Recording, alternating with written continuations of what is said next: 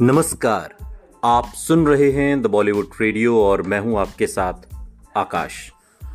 दोस्तों, आज के इस पॉडकास्ट में राजेश खन्ना की नाकामयाबी कहेंगे दस साल तक, जो साल उन्नीस सौ उनहत्तर से तिहत्तर के बाद जो उन्होंने झेली। उसके बाद राजेश खन्ना की back to back super duper hit फ़िल्में आई। सौतन और फिर आप जानते हैं, बात हो रही है अवतार की। मोहन कुमार जिस तरह की फ़िल्में बनाना पसंद करते थे, वो आठवें दशक के दर्शकों को भा नहीं सकती थी।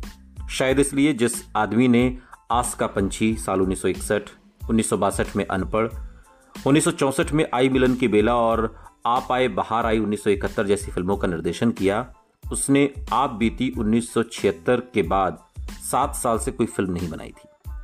और अब उन्होंने एक ऐसे अभिनेता को लेने का फैसला किया जो लोगों के साथ रिश्ता बना पाए और दर्शकों को मना पाए कि उसकी जैसी कहानी को भी मौका दें। मोहन कुमार ने अमिताभ बच्चन को अनुबंधित कर रखा था कॉन्ट्रैक्ट साइन कर रखा था। जिस वक्त उस वक्त जिनका बोलबाला था और उनके साथ अवतार उन्नीस सौ तिरासी शुरू करने के लिए तैयार थे। लेकिन उन्होंने राजेश खन्ना का चुनाव करके सबको चकित कर दिया कि भाई, मोहन कुमार ने कॉन्ट्रैक्ट तो अमिताभ बच्चन के साथ साइन किया और फ़िल्म राजेश खन्ना के साथ। ये बहुत हैरान कर देने वाला फैसला था। लेकिन उन्होंने राजेश खन्ना का चुनाव करके चूँकि सबको चकित कर दिया था और ये उन कम मिसालों में से थी जब एक फ़िल्म निर्माता उद्योग के आम चलन के खिलाफ गया और अमिताभ बच्चन को छोड़कर राजेश खन्ना को चुना। अगर कुछ समय पहले उन्हें सत्यम शिवम सुंदरम से हटाकर राज कपूर ने उन्हें उनके जन्मदिन पर चौंका दिया था तो मोहन कुमार ने राजेश खन्ना को उनके जन्मदिन पर अवतार तोहफे में दी। मोहन कुमार राजेश खन्ना के जन्मदिन की पार्टी में शरीक हुए और उस शाम उन्हें कुछ ऐसा हुआ कि उन्होंने राजेश खन्ना को अवतार कृष्ण के रूप में लेने की ठान ली। फैक्ट्री में काम करने वाला एक बुज़ुर्ग, जिसे अपने कृतज्ञ बेटों की वजह से बुरे दिन देखने पड़े। फिल्मी दुनिया, मोहन कुमार के राजेश खन्ना को लेने के फैसले पर इतनी हैरान नहीं थी जितनी उनके अमिताभ बच्चन को छोड़ देने पर थी। अदाकारों को लेने के बारे में बात करते हुए मोहन कुमार इशारा करते हैं कि अमिताभ बच्चन को सिर्फ़ आर्थिक कारणों से लिया था। अमिताभ बच्चन की फ़िल्म के लिए वितरक ज़्यादा पैसे देते थे, ये एक वजह थी। और जोड़ते हैं कि बाद के दिनों में एक इंटरव्यू के दौरान इस बात को भी जोड़ते हैं कि राजेश खन्ना को लेने का फैसला करके वो ज़्यादा खुश थे। अवतार एक बार फिर राजेश खन्ना और शबाना आजमी को एक साथ लाई और उन्हें ऐसी भूमिकाओं में रखा जिसकी अब तक हिंदी सिनेमा में कोशिश नहीं की गई थी। ग्लैमर रहित और बेहद साधारण नायक नायिका, साधारण अर्थों में नायक नायिका नहीं थे, और जहाँ वो ये शबाना आजमी के लिए गैर मामूली बात नहीं थी, राजेश खन्ना ऐसे किरदार में कम ही देखे गए थे। दर्शकों ने फ़िल्म बहुत पसंद की और बच्चों द्वारा त्याग दिए गए पति पत्नी के दर्शकों के हर वर्ग को ये दिल छू लेने वाली फ़िल्म थी। बात के दिनों में बागबान बनी, हम सभी जानते हैं। जिस दौर में हिंदी सिनेमा तीन मोटी श्रेणियों में बटा हुआ था व्यावसायिक, समानांतर और अमिताभ बच्चन। राजेश खन्ना की सौतन और अवतार की सफलता ने कुछ समय के लिए एक चौथा कोण बना दिया। राजेश खन्ना मल्टी स्टारर फ़िल्में, मामूली फ़िल्में थोड़ा थोड़ा सब कुछ लिए फ़िल्में और हर उस तरह की फ़िल्में की थीं जिसकी एक हीरो से उम्मीद हो सकती थी। लेकिन जहाँ तक दर्शकों की मंजूरी का सवाल था, खुद को दोनों श्रेणियों में मिसफिट पाया था। राजेश खन्ना की अवतार उन फ़िल्मों का दोहराया जाना ही था, जिसकी एक मुख्य अभिनेता से उम्मीद की जाती थी और यह बात प्रभावित करती थी कि हिंदी सिनेमा एक खास उम्र के बाद भी नायक को पेश कर सकता था। अवतार से एक साल पहले दिलीप कुमार की शक्ति उन्नीस सौ बयासी में एक ऐसा किरदार मिला था, जो उनकी उम्र के लिए सही था।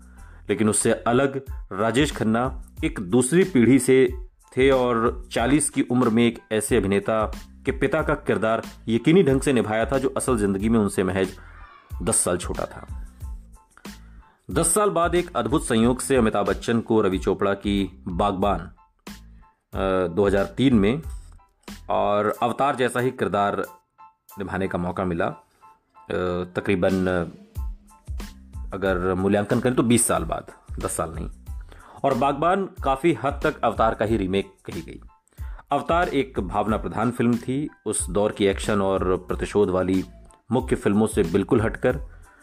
फ़िल्म मंच के लिए साधारण नाटक की तरह ही तैयार की गई थी, जिसके कारण दर्शकों के लिए अदाकारी ही मुख्य बात बन गई।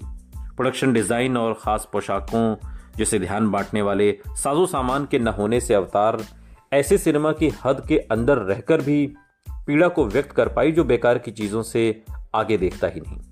और आज भी करती है। आज भी अगर ये फ़िल्म आए तो आप आप उसे पसंद करते हैं, देखते हैं। राजेश खन्ना ने सच्चाई से भूमिका अदा की और एक ऐसे आदमी की कहानी जो छोटे से दूसरे मौके में भी अपनी बेहतरीन करना चाहता है, विचित्र ढंग से अपनी स्थिति से मिलती जुलती थी। फ़िल्म यह एहसास दिलाती है कि राजेश खन्ना अवतार की पीड़ा को समझते थे। उसके बेटों, उसके वारिसों जैसे लोगों द्वारा पहुंचाई गई, जो ऐसे व्यक्ति का अपमान करने में समय नहीं लगाते, जो अब एक तरीके से बेकार है। फ़िल्म में लक्ष्मीकांत प्यारेलाल के संगीत ने राजेश खन्ना को एक नया गान दिया। यारो उठो, चलो, भागो, दौड़ो, मरने से पहले जीना ना छोड़ो। किशोर कुमार, महेंद्र कपूर की आवाज़ और देश को एक नया भजन, चलो, बुलावा आया है, माता ने बुलाया है। महेंद्र कपूर, आशा भोंसले और नरेंद्र चंचल का गाया गाना। एक खास राजेश खन्ना युगल गीत के साथ साथ दिन, महीने, साल गुजरते जाएँगे। किशोर कुमार लता मंगेशकर का ये सब लोगों ने बहुत पसंद किया। और ये दस साल बाद एक तरीके से राजेश खन्ना की बम्पर वापसी के तौर पर इसे देखा गया। राजेश खन्ना के लिए यह साल और भी अच्छा हो गया। लेख टंडन की अगर तुम न होते साल उन्नीस सौ तिरासी के साथ, जो उनकी तीसरी लगातार कामयाब फ़िल्म थी, यानी कि हैट्रिक अगर तुम न होते उस वक्त चलने वाली जितेंद्र की विचारहीन दक्षिण भारतीय फ़िल्मों और एक्शन फ़िल्मों के बीच अलग से उभर कर आई थी लेकिन आ, वो कहते हैं ना कि जिसका सिक्का मज़बूत होता है वो चलता ही है। फ़िल्म की प्रबल नैतिकता उस दौर की फ़िल्मों के दिवालियापन से बिल्कुल अलग थी। आर डी बर्मन के संगीत और गुलशन बावरा के गीतों ने सुनने वालों को किशोर कुमार का कभी न भूलने वाला शीर्षक गीत दिया जो आज भी सुनने में ताजगी लिए रखता है। महबूबा और कुदरत की तरह फ़िल्म में हमें और जीने की चाहत न होती अगर तुम न होते। इसके दो रूप हैं, लेकिन उनके विपरीत यहाँ किशोर कुमार वाला हिस्सा बेमिसाल लगता है। तीन तीन सफलताओं से उत्साहित होकर राजेश खन्ना ने पूरी तरह बाजी जीत लेने का फैसला किया। हालात को एक बार फिर पहले जैसा बनाने के लिए उन्हें, उन्हीं लोगों को मानना था जिन्होंने उन्हें चलना सिखाया था। लेकिन वैसा करने से पहले राजेश खन्ना को किसी चार दीवारी को ठीक करने की ज़रूरत थी। कुछ पुल फिर से बांधने की ज़रूरत थी। इस लक्ष्य को पूरा करने के लिए जिन लोगों को वो सबसे पहले मिले, उनमें से एक थे शक्ति सामंत। वो इंसान जो न सिर्फ़ ये जानता था कि यह कलाकार क्या कर सकता था, बल्कि ये भी कि वो कैसे करवाया जा सकता था। अनुरोध के बाद शक्ति सामंत पाँच फ़िल्में बना चुके थे, लेकिन उनमें से किसी में भी राजेश खन्ना पूरी लंबाई वाली भूमिका में नहीं थे। तब से लेकर शक्ति सामंत दो फ़िल्में बच्चन के साथ भी बना चुके थे अमिताभ बच्चन के साथ और एक उत्तम कुमार, संजीव कुमार और मिथुन चक्रवर्ती के साथ। और लगता नहीं था कि उन्हें राजेश खन्ना की कमी महसूस हो रही है। उन्होंने राजेश खन्ना को साल उन्नीस सौ बयासी में आई आयाश में एक छोटी भूमिका में लिया था, लेकिन जिस अदाकार को उन्होंने सितारा बनाया था, सुपरस्टार बनाया था, उसके साथ एक फ़िल्म बनाने का उनका कोई इरादा नहीं था। शक्ति सामंत, दिलीप कुमार और अनिल कपूर के साथ आवाज़ बनाने को तैयार थे जब राजेश खन्ना मिलने आए। राजेश खन्ना, आर डी बर्मन, आनंद बख्शी और शक्ति सामंत एक चौकड़ी हुआ करते थे एक जमाने में, जो हमेशा एक दूसरे के साथ शामें गुजारा करते थे। इन मुलाकातों में संगीत और कहानी की शक्ल में रचनात्मकता शराब से तरजीह पाती थी। लेकिन जहाँ तक राजेश खन्ना और शक्ति सामंत का सवाल था, वो वक्त अब एक तरीके से बीत चुका था। शक्ति सामंता के बेटे आशिम सामंता को राजेश खन्ना का बिना सूचना दिए उसके पिता से मिलने आना आज भी याद है। एक इंटरव्यू में वो बताते हैं। चाहे जो भी हुआ था, राजेश खन्ना ने हमेशा शक्ति सामंत को एक सहकर्मी से बढ़कर माना था, बल्कि एक करीबी दोस्त की तरह। आशिम का कहना है कि वो मेरे पिता को अपना उस्ताद मानते थे और उस शाम वो कालीन पर बैठ गए और तब तक उठने के लिए तैयार नहीं हुए, जब तक मेरे पिता उन्हें अगली फ़िल्म में लेने के लिए राज़ी नहीं हो गए। आशिम बताते हैं कि उनके पिता ने राजेश खन्ना से कहा कि दिलीप कुमार ने अपनी डेट्स दे दी थी और ये भी कि वो आवाज़ खत्म हो जाने के बाद राजेश खन्ना के लिए कहानी तैयार करेंगे। लेकिन राजेश खन्ना न सुनने को तैयार थे।